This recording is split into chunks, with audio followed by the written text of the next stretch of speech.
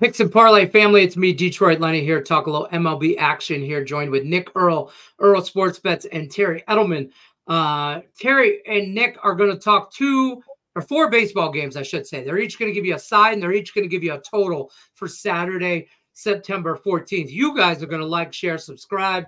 Use the promo code below LENNY20. Saves you 20% off your entire purchase at Picks and Parlays net. Now, Nick Earle's up first. We're going to talk Marlins and the Nats. Nats are favored minus 150. There's something you don't hear every day, anyways. Uh, total is at eight and a half. Nick Earle, what are your thoughts on this uh, matchup?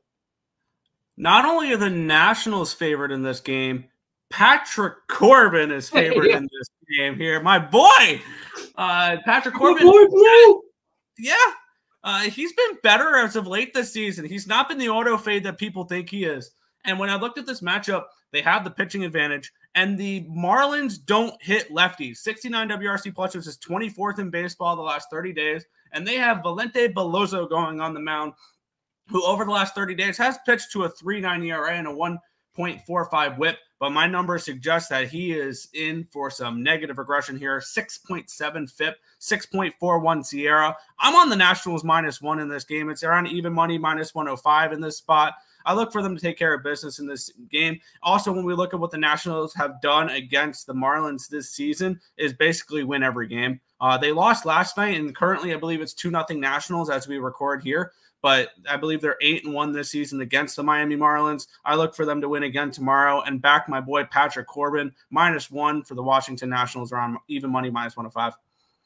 Stop saying your boy Patrick Corbin. I've uh, backed him so much. He's you. my boy. I'll ride with you on the Nats minus one, but I cannot accept that kind of behavior. My boy Patrick, I can't even get it out of my mouth my boy uh, calling, calling the wrong. worst pitcher in baseball for the last. He's not been the worst pitcher in baseball boy. though. He's not been over all the right, last four right. years. He has been.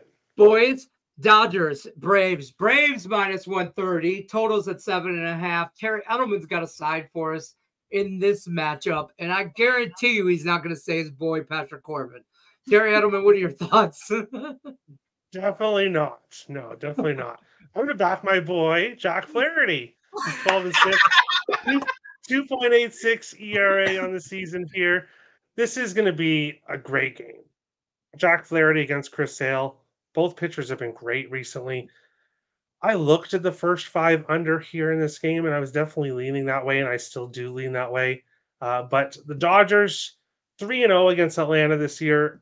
This Atlanta Braves team is in trouble. Uh, mm. But when you look at the guys uh, that they don't have, Ozzy Albies, Austin Riley, Ronald Acuna Jr., uh, those are three huge pieces to this Braves team.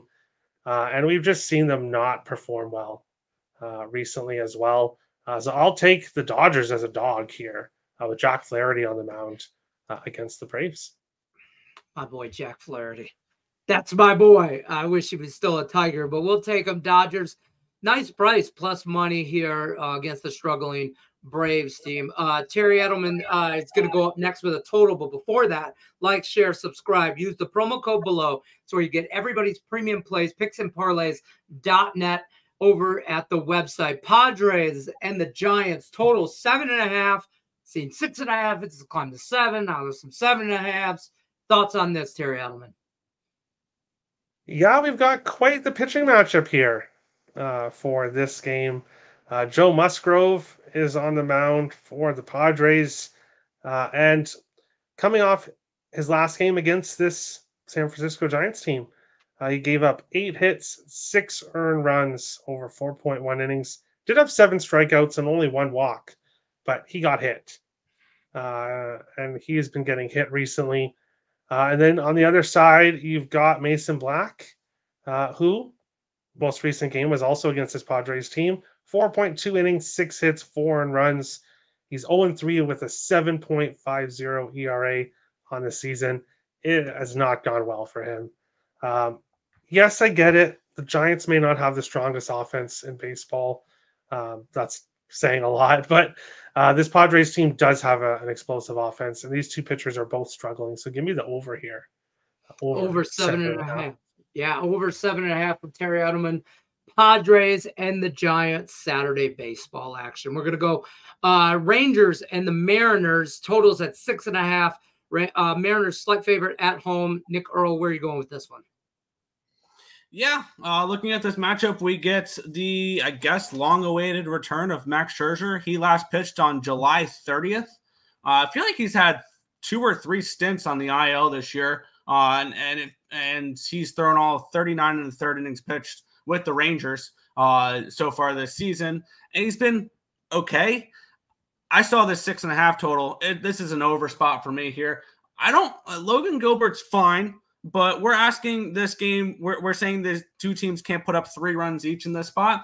And these are two teams where I'm gonna I'm gonna play against the bias that we've seen so far this year, and that is that these two teams can't hit. Recently, they can. Against right-handed right. pitching, both these teams are above average the last 30 days. The Mariners are putting up 111 WRC plus, which is ninth in baseball, and the Rangers 103, which is 13th. I think this hockey total is way too low in this spot. I think we get at least three to three in this game because – when we look at it from a different perspective, yeah, they can get their runs against Max Scherzer, the uh, Seattle Mariners.